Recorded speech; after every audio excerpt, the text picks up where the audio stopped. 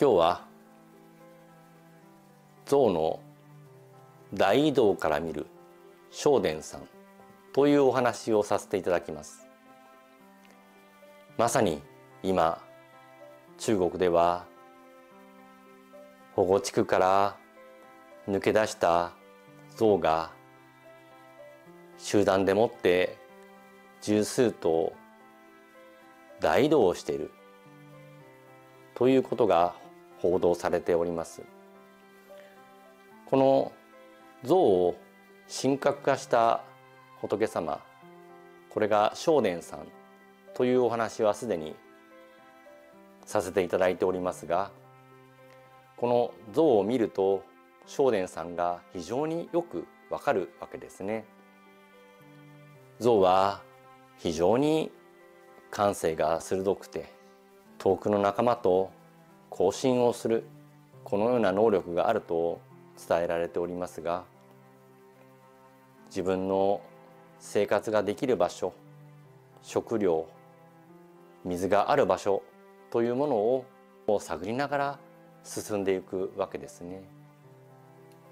そういった像の行動を見ますと我々が正殿さんに対して日々する行いというものがいかに大切であるかということが見えてくるわけですね。正殿さんが先を見通す力物事を瞬時に察知する能力このようなことに長けているわけですから正殿さんの指し示したことに対して我々がそのことを真摯に受け止め行動するという必要性はあるわけですね。象の身体的特徴を言いますと高さはおよそ2メートルから3メートル体長は約5メートルそして体重は3トン以上にも及びますこの巨大な象が歩いた道というのは肥沃な場所が多くて象の歩いた後を他の動物や虫などが安全だと思ってその場所を通る。これによって恩恵を被ることができる。このように言われております。まさに物事の始まりに正殿さんを祈る。それによって象のような巨大なパワーを得られることができる。ということもこのことから理解できます。象は1日19時間も食べ物を食べている。というふうに言われておりますし非常に睡眠が浅いことで知られております。私が正殿さんに対して日々お供えをすることの大切さというのは重々感じておりますし季節の野菜であったり果物であったり甘いお菓子であったりそういった多くのお供え物をするほどいいこのように言われております。そして私たちが願った思いを瞬時に感じることができる。そういった能力が備わっているというふうに言われております。象が移動している間に酒を飲み暴れていると言われております。象は物を噛み砕いたり食べる時に分解をして胃の中で発酵させる。あるいはお酒を飲むことによって本来のパワーを発揮する。このように言われております。日々正殿さんに対してお供えをすることによって正殿さんの本来持っている巨大なパワーを発揮することができるのだ。このように考えることができます。象は警戒心が強いが象使いの言うことはよく聞き象使いは象と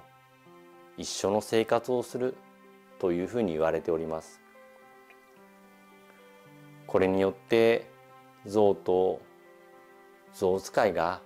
互いに信頼関係を結び共に行動することができるのだ。このように考えることができます。行者が正殿さんに対してきちんとお祭りをし志を運ぶということは非常に大切なことです。正殿さんに対してまるで自分の子供を可愛がるかのように接しあるいは自分の尊きお客様としておもてなしをするという行為も重要だというふうに言われております。かつて小さな子供の像が水たまりに入って出られなくなっているのを人間たちがこぞって助け出したということがございました。この時にはその小僧の親像たちが人間たちに対してお礼を示すような行動をしたことがあると言われております。今回の象の大移動から見てその象の行動を追いやるのではなく象のお腹が空いた水が欲しい食べ物が欲しい安全な場所に行きたいという気持ちを理解してあげてそういったことにより我々人間にも幸せがもたらされるのだといったことを知っていただければというふうに思います。正殿さんに対してきちんと気持ちを運ぶということ。正殿さんから得られた服に対してきちんとお礼の気持ちを差し出すということ。そういったことは非常に大切だというふうに思います。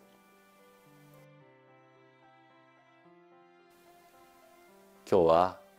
象の大移動から見る正殿さん。というお話をいたしました。